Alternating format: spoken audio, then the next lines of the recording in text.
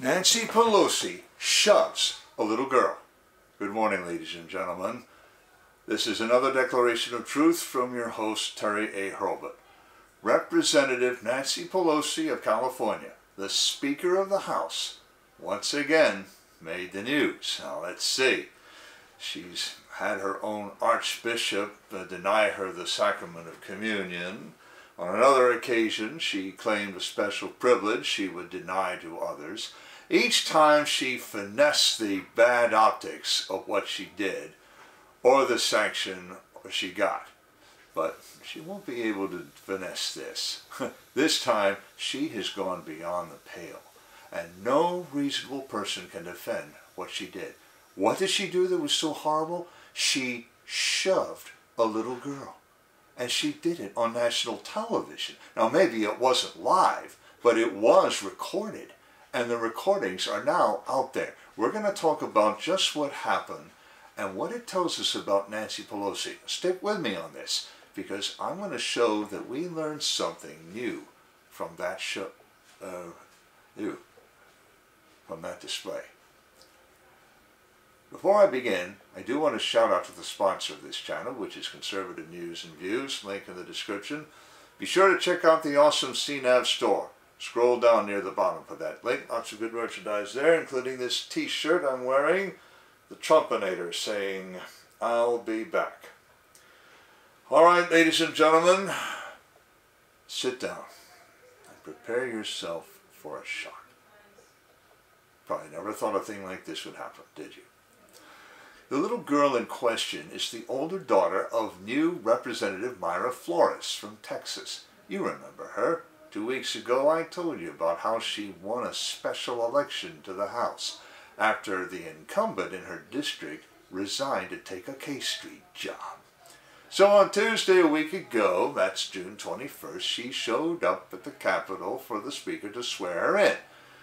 Well, evidently, Nancy Pelosi did not appreciate this duty. She said all the right things, but didn't mean a word of them.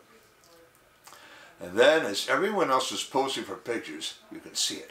I have links in the description to no fewer than three videos that clearly show Nancy Pelosi moving her right arm into the little girl's back and giving a shove. Now, I read some accounts saying that she elbow the little girl, stop right there. Those people are exaggerating. To elbow means to strike with the elbow. Nancy Pelosi at least had enough sense not to do that. Nevertheless, if what she did, this was a tasteless thing to do, and displayed total indifference to the rules of etiquette, to say nothing of the rules of the house. But you know what? That little girl recovered so quickly that hardly anybody noticed. That might partly explain why we started seeing those videos only last Sunday. Representative Flores herself had the best response anybody could give. I have a link in the description to it, but I'm also going to quote it here. I am so proud of my strong, beautiful daughter for not allowing this to faze her. She continued to smile and pose for the pictures like a queen. She's right, you know. Keep your eyes on those little girls, both of them. They're going to grow up to be very gracious ladies someday. American can be proud of them. And prouder still of our newest member of Congress, because she raised them right. No question about that. But Representative Flores then followed by saying the obvious, you do not do that to a child. Now, what does this show? Well, it shows that our newest member of Congress has raised two fine, outstanding little girls who won't let a big bully spoil the fun, even if big bully is an adult. yes, I use that term loosely. But what else does it show? Before I get into that, I want to shout out to another sponsor, BitNext. This is your replacement for Zoom, Slack, the Google G Suite, Microsoft Office 365, Dropbox, WeTransfer, and Chili Piper, among others. Unlike any of them, BitNext protects your content and conversation so well that even the administrators can't see it. So this is your channel for secure comms, conferencing, cloud storage, and file sharing. Best of all, Everything is back end. You don't even need client software. If you have a browser, you can use BitNext. Follow the link and give them a try. 28 days free of charge. And You can't beat that with a stick. Now, where was I? Ah, yes. Well, this sad episode marred what was otherwise a celebration of a great personal achievement by Representative Flores and one she rightly shared with her family. But what does it mean other than that Nancy Pelosi can be incredibly boorish at times. Well, we knew that when she appeared one on late night television showing off her expensive refrigerator freezers and her equally expensive ice cream. But what else do we know from this incident that we didn't know before? Do we know that she cares nothing for the non-Anglo people that are or have been one of her party's constituent groups. Again, we knew that already. She doesn't care about what about such uh, constituent group members. She cares only about how they vote. And not only will Mayra Flores vote against her most of the time in the House, but she won election precisely by pledging to vote that way.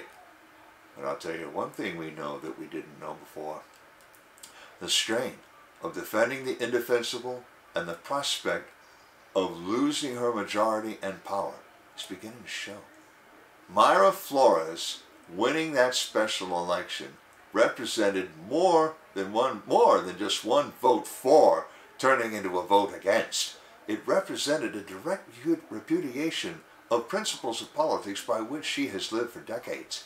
Indeed, it represented a repudiation of her personally as well as of her allies. That's how she could so forget herself.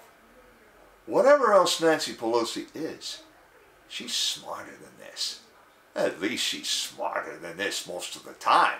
Last week, in a critical moment, she forgot her manners and indeed a key political principle, which is at least pretend to care even when you don't you can expect to see that footage show up in campaigns not only in California's San Francisco district, but nationwide.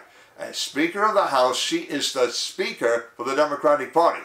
Well, Joe Biden would be, but aside from this being midterms, he's in little shape to speak to or for anyone. But by that disgraceful act, Nancy Pelosi has spoken contempt for the people and the people should remember in November. If I were a betting man, I'd lay you a hundred to eight that the people in her district will remember, and they'll tell their new neighbors about it too. When the new district lines take effect, scratch one take back the Democrats thought they were going to get. Nancy Pelosi just threw it away. Links to the description of the article, to three videos showing the incident, to Representative Flores' response, and to conservative news and views. I have another link to the awesome online store and to BitNext, as I also mentioned. And if you like what you've seen, uh, seen and heard, you can like this video. And follow the in-video link to my earlier video congratulating Representative Flores on her victory. Plus a direct link to subscribe to this channel. This is Terry A. Hurlbut delivering another declaration of truth and reminding you to let the truth set you free.